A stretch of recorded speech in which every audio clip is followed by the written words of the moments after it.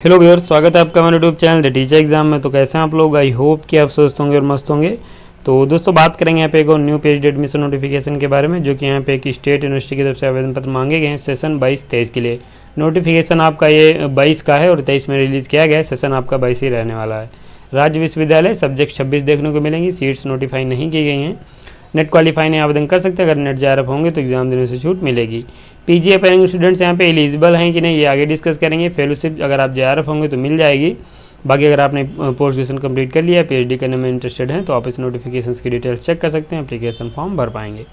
तो ये कुछ इंपॉर्टेंट पॉइंट्स हैं, बाकी ऑफिशियल नोटिफिकेशन पे चलेंगे, जहाँ पॉइंट्स को डिस्कस करेंगे। लेकिन चलने से पहले, चैनल पर पहली बार आए हैं तो चैनल को सब्सक्राइब कर लीजिएगा। बेल आइकान भी दोस्तों ज़रूर प्रेस कर लीजिएगा। ये हमारे कोर्स हैं, आप इन्हें ज्वाइन कर सकते हैं। अगर आप इंटरेस्टेड हैं ज्वाइन करने में तो लिंक आपको डिस्क्रिप्शन में मिल जाएगा। आप वहाँ पे डिटेल्स में रीड कर सकते हैं और यहाँ पे आप इनको ज्वाइन कर पाएँगे। तो आप डिस्क्रिप्शन बॉक्स चेक कर लीजिए, वहाँ पे लिंक दिए गए हैं। इसके अलावा हम नोटिफिकेशन पे चलेंगे, बात करेंगे आपके जो पीएचडी का नोटिफिकेशन उसके बारे में। तो यहाँ अगर हम बात करें आपकी यूनिवर्सिटी की तो बाबा साहब भीमराव अंबेडकर बिहार यूनिवर्सिटी की तरफ़ से आवेदन पत्र मांगेगी, जो कि आपको मुजफ्फरपुर बिहार में देखने को मिलेगी। बहुत ही बेहतरीन यूनिवर्सिटी है एलिजिबिलिटी रखते हैं तो ज़रूर आवेदन कीजिएगा। ये आपका नोटिफिकेशन है।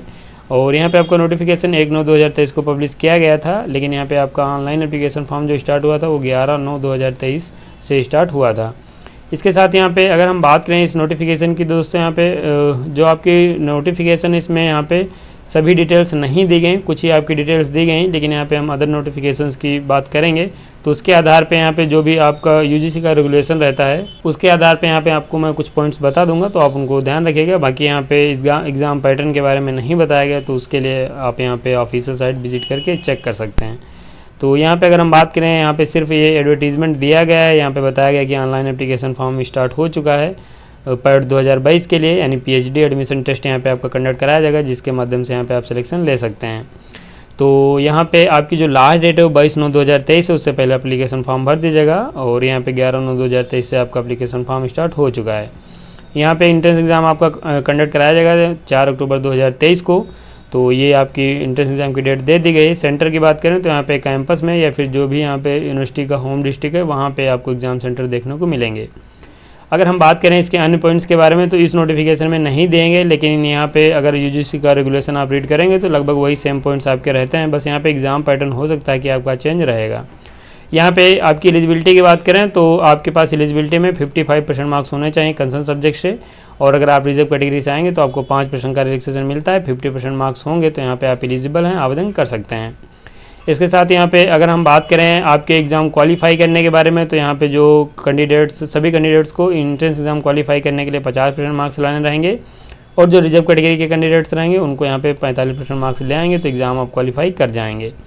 इसके साथ यहाँ पे अगर हम बात करें एग्ज़ाम पैटर्न के बारे में तो एग्ज़ाम पैटर्न दोस्तों यहाँ पे मेंशन नहीं किया गया, लेकिन मैं आपको एक आइडिया दिए दे रहा हूँ कि जो बिहार की जितनी भी यूनिवर्सिटी हैं, उसमें एग्ज़ाम पैटर्न में जो आपका फ़र्स्ट पेपर रहता है वो दोस्तों यहाँ पे आपका जो रहता है, उस एम टाइप का रहता है, यानी यहाँ पे मल्टीपल चॉइस क्वेश्चन आपको फ़र्स्ट पेपर में देखने को मिलते हैं। और जो आपका सेकेंड पेपर रहता है, वो यहाँ पे आपका सब्जेक्टिव नेचर का रहता है। तो यहाँ पे क्या रहेगा, ये आप जब अप्लीकेशन फॉर्म भरेंगे या फिर यहाँ पे जब एग्ज़ाम देने जाएँगे, तभी आपका क्लियर हो पाएगा।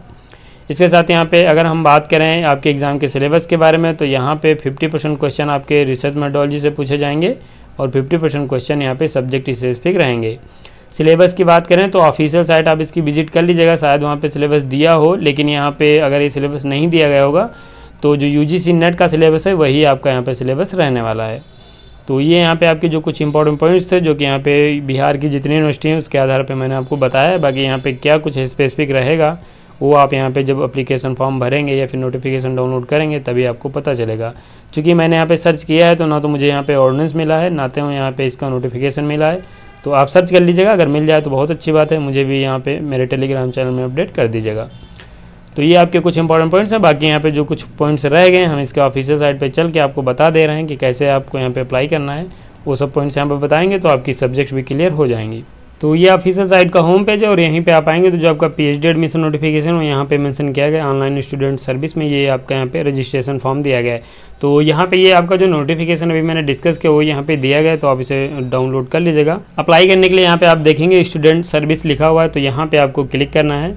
और जैसे यहाँ पे आप क्लिक करेंगे तो आपके सामने जो जैसे वहाँ पे अपना लॉगिन आईडी पासवर्ड डालेंगे तो आपके सामने ऐसा कुछ इंटरफेस खुल जाएगा। यहाँ से आप अपने आप को सिलेक्ट कर लेना। सेशन आपका यहाँ पे बाईस रहेगा। यहाँ पे आपको अपना प्रोग्राम सेलेक्ट करना है तो यहाँ पे पी सेलेक्ट करेंगे। देन यहाँ पे आप अपना कोर्स सिलेक्ट करेंगे।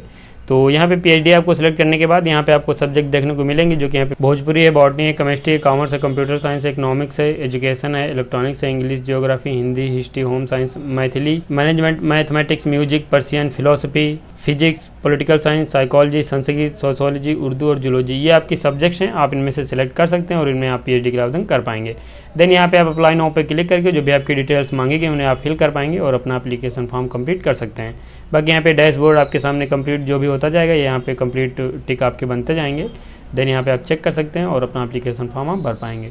तो ये अप्लाई कैसे करना है? और इस नोटिफिकेशन में आपके पीएचडी से संबंधित दोस्तों मैंने कोशिश की है, जो भी पॉइंट्स थे वो मैंने आपको बता दिए हैं।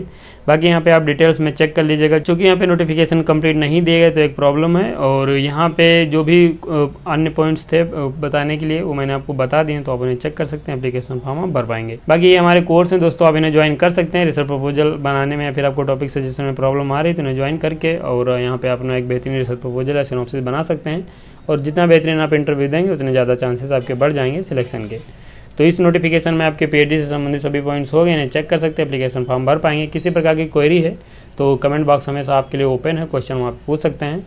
कोशिश करेंगे आपके सभी क्वेश्चन के रिप्लाई दिए जाएँ और इस नोटिफिकेशन में बस इतना ही। वीडियो को समाप्त करेंगे। अगर आपको वीडियो पसंद आया तो वीडियो को लाइक कर दीजिएगा।